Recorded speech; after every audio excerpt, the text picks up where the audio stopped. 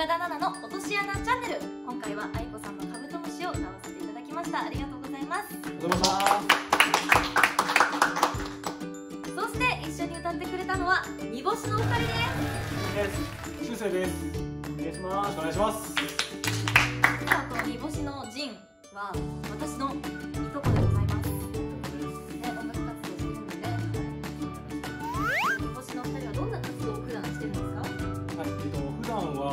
SNS、YouTube、Instagram、TikTok にカバー動画を中心に撮ってます。でまあ、ゆくゆくはオリジナルの曲も上げていく予定なので、ぜひチェックしていただけたらなと思います。わかりました。じゃあもう SNS の URL を概要欄に全部貼っておくので、皆さんぜひぜひ見てくださったら嬉しいでお願いします。す。ね、またやりたいね。やりたいですね。ね、楽しか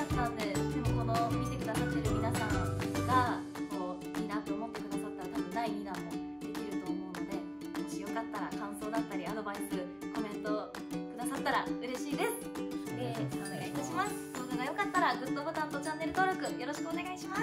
お願いします。煮干しでした。ありがとうございました。